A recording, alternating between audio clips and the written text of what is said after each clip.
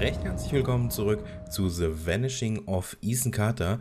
Ja, im letzten Part haben wir das Rätsel um den Mann mit den abgetrennten Beinen gelöst, sind weitergelaufen, haben den Damm überquert und sind jetzt hier in einem doch recht zerfallenen Gebäude angekommen.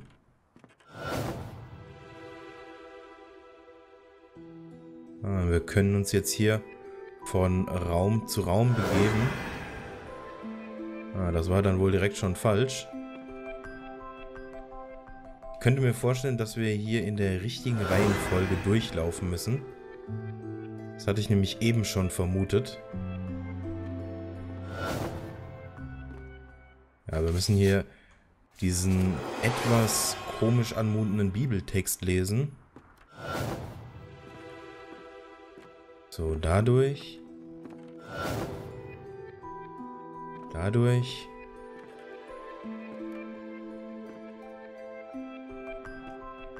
Gibt es aber auch keine weiteren Hinweise, die wir aufheben können.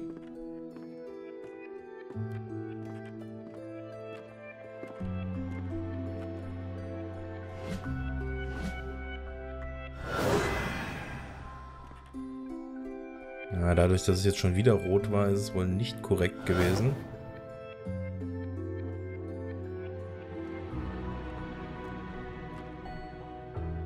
Wir kommen durch diese Türen auch immer an andere Räume.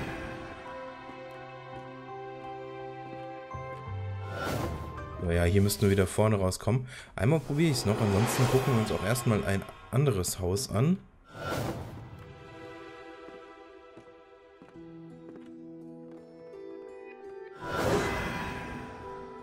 Ja, das war ja schon wieder falsch. Oh, jetzt sind wir hier sogar auf dem Dachboden gelandet. Das ist quasi eine Art Portal. Diese ganzen Türen.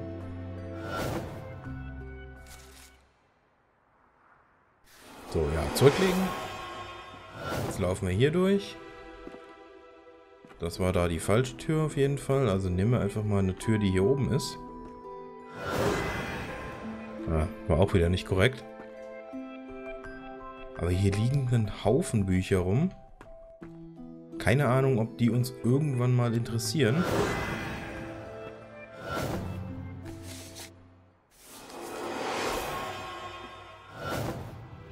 So, gehen wir hier durch. Das war aber auch schon wieder die falsche Tür.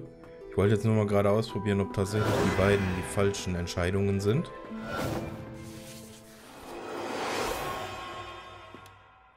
Also. Hoppla.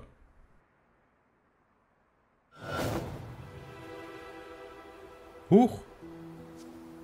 Und nun stehen wir vor der Tür. Das war irgendwie anders gedacht. Jetzt muss ich erstmal rausfinden, wo wir uns befinden. Ach, wir wurden gleich in ein komplett anderes Haus geportet. Okay, dann würde ich sagen, wir betreten dieses Haus einfach mal. Wenn dafür irgendwo eine Tür offen steht. Nee, hier nicht. Da hinten vielleicht?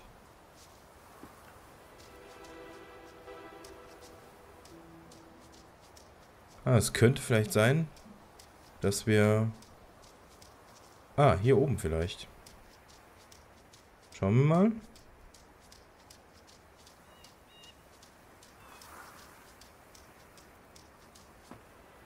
Irgendwo hier gibt es mit Sicherheit eine Tür, durch die wir ins Haus kommen. Ansonsten könnte ich mir auch vorstellen, dass wir äh, in dem anderen Haus richtig durch die Türen gehen müssen, damit wir überhaupt äh, in die anderen Häuser reinkommen. Das ist natürlich auch möglich. Das scheint mir auch schon fast so. Was haben wir denn hier hinten? Vielleicht eine Seilbahn?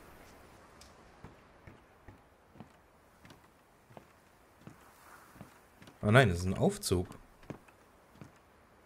Ah, aber keine Schalter drin, also können wir das gute Teil auch nicht rufen.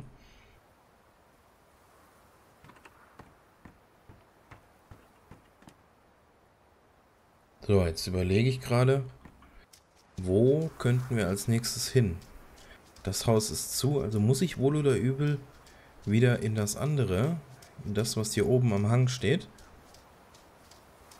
Und muss hoffen, dass ich so dann irgendwie in das andere Haus hineinkomme.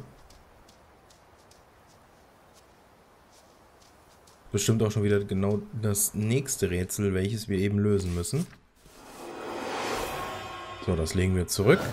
Jetzt gehen wir in diese Tür. Gehen wir mal durch diese Tür. Oh, das war wohl sogar die richtige. Diese Tür.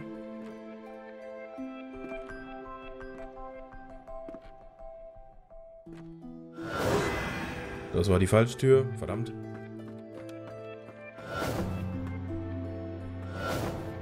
Na, irgendwie müssen wir wieder vorne rauskommen.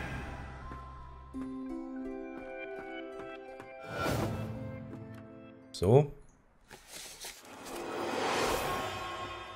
Nochmal. Diese Tür. Versucht euch das Ganze einfach mitzumerken. Dann ist es diese Tür. Hä? Das war doch eben die richtige.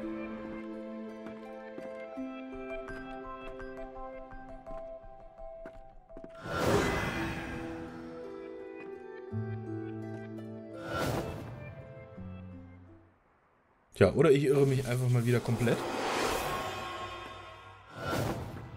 Diese Tür. Ist diese Tür? Nee, dann ist es nicht diese Tür. Verdammt! Die Räume sind auch immer anders, wie ich gerade sehe. Nur wonach soll ich da gehen?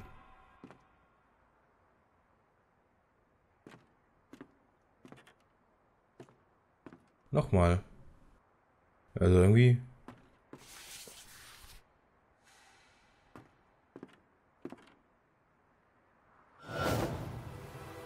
Huch, und schon wieder sind wir zum anderen Haus teleportiert worden. Ja, äh, komische Geschichte.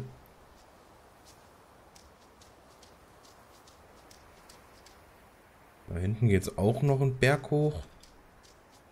Ich sag keine Ahnung, was es da gibt. Ah, Moment mal, da, die Tür ist offen. Oder? Äh, okay. Irgendwelche Clipping-Fehler? Also für mich ist das Haus da, so wie es jetzt gerade ist, offen. Ich habe mich eben schon gewundert, warum das hier nicht so ganz übereinstimmt. Aber gut.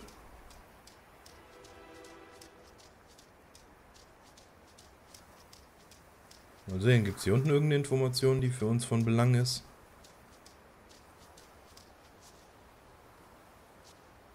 Nö. Da hinten geht es noch irgendwo hin. Laufen wir einfach mal hin.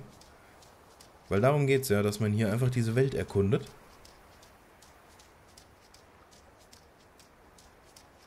Wir werden bestimmt noch auf allerlei interessante Ecken dieser Welt hier stoßen. I've stepped through too many portals. Been present in too many worlds simultaneously. Bits and pieces of me stay on the other side, waiting. Whenever I return, to bring parts of those worlds back. Do you know what ghosts are? They're sad, evicted things. Memories without homes. Okay. Ja, er ist wohl durch zu viele Portale gleichzeitig gegangen. Alleine heute durch 30, wie wir eben gesehen haben. Ist klar, dass man da ein bisschen bekloppt wird im Hirn. Mal schauen, wo uns diese Straße hier hinführt. Also das macht auch so ein bisschen diesen Charme von diesem Spiel aus, dass man hier wirklich von äh, A, von der Brücke, wo wir angefangen haben, bis hier quer in die Wildnis reingeworfen wird. Also man hat wirklich hier alle Freiheiten, die man sich vorstellen kann. Dazu kommt natürlich diese bombastische Grafik und diese wirklich sehr detailliert äh, gestaltete Welt. Also da haben sich die Entwickler wirklich mal richtig reingehängt und haben Sonderschichten eingelegt. Wieder irgendein Turm. Mal gucken, ob er hier wieder einen kleinen Monolog zu hat. Nö.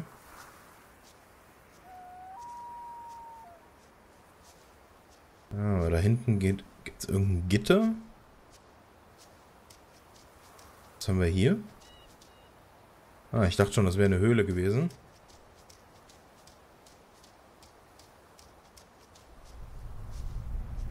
Können wir die Türe öffnen? Ne, dazu brauchen wir erst einen Schlüssel. Was ist denn dahinter? Sieht ja fast aus wie Gold oder, oder Lava oder irgendwie sowas in der Richtung. Aber dafür müssen wir uns hier noch ein bisschen weiter umsehen. Irgendwo in dieser Welt sind alle Hinweise versteckt, die wir brauchen.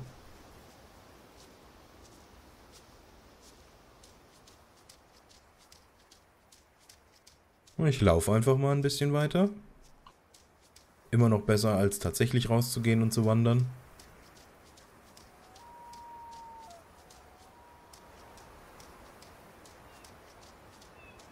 Ein ziemlich steiler, steiniger Hügelpfad hier. Gucken, wo der uns hinwirft. Das ist echt eine Riesenwelt. You'd be surprised by how little they know.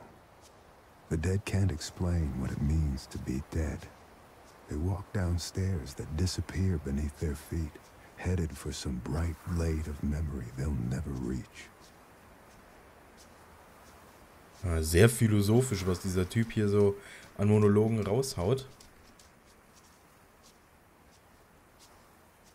So, hier auf jeden Fall schon so einiges an Holz gerodet worden. Hier sehen wir auch irgendwie, ich weiß nicht, ist das Hogwarts? Sieht auf jeden Fall aus wie eine alte Kirche. In der sich auf jeden Fall wieder atemberaubend die Sonne spiegelt. Nur so nebenbei. Wir gehen einfach runter und schauen uns das Ganze aus der Nähe an.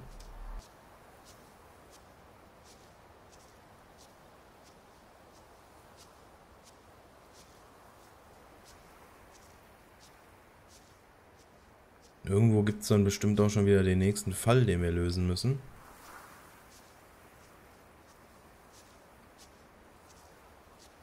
Erstmal hier runter. Ah, hier haben wir doch direkt was, was wir untersuchen können. Verbrannte Streichhölzer, Ölkanne, verschüttetes Öl, runder Fleck. Öllampe. Irgendwo hier soll sich eine befinden. Was ist so das Ding da, oder nicht?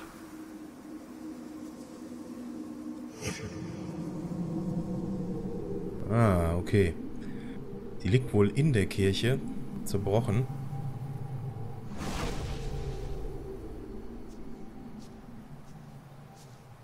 Wir sehen, hier draußen gibt es bestimmt weitere Hinweise. Oh, und erneut Blutlachen. Pinsel. Ah ne, Krähenkadaver. Blut als Farbe benutzt. Krähe getötet. Mit was? Einem Skalpell, einem Rasierer? Fragezeichen, Fragezeichen, Fragezeichen.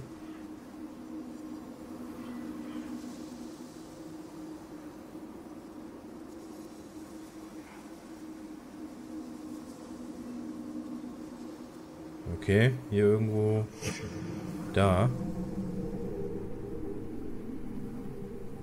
Oh, da liegt ein Toter. Was auch sonst. Ist das vielleicht der alte Opa? Sieht auf jeden Fall aus wie eine Art Mausoleum.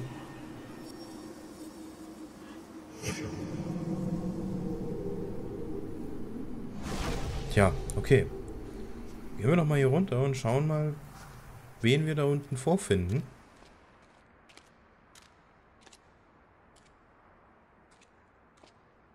Ja, gut, da wird aber nicht viel passieren, ohne dass wir eine Fackel haben. Ah, hier können wir es untersuchen. Griff. Krähe. Ah, da muss wohl eine andere Krähe noch hingesetzt werden. Die befindet sich... Ah, die liegt wohl irgendwie mitten draußen auf einem Feld. Schauen, dass wir da irgendwie hinkommen.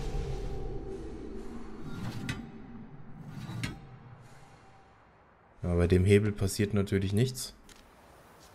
Okay. So, wir sind auch schon wieder am Ende von diesem Part hier angelangt. Schaltet beim nächsten Mal wieder ein, dann gehen wir den weiteren Hinweisen nach und dann schauen wir mal, was hier so vor sich geht. Schaltet wieder ein, The Vanishing of Ethan Carter. Bis zum nächsten Mal.